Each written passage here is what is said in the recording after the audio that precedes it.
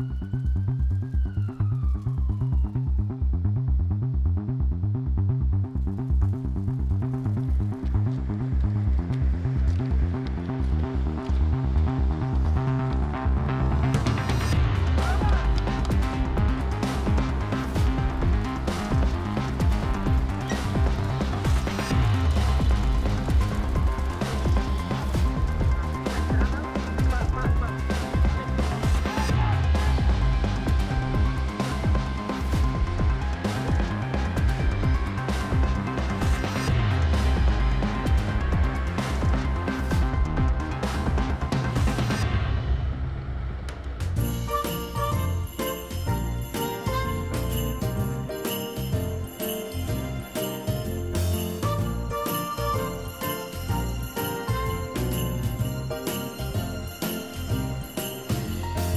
Neste ano de 2022, marcado pelo aligerar das medidas impostas pela pandemia do Covid e pelo eh, início da guerra da Ucrânia, felizmente o Conselho de Montemoro Velho não foi muito fustigado pelo drama dos incêndios florestais.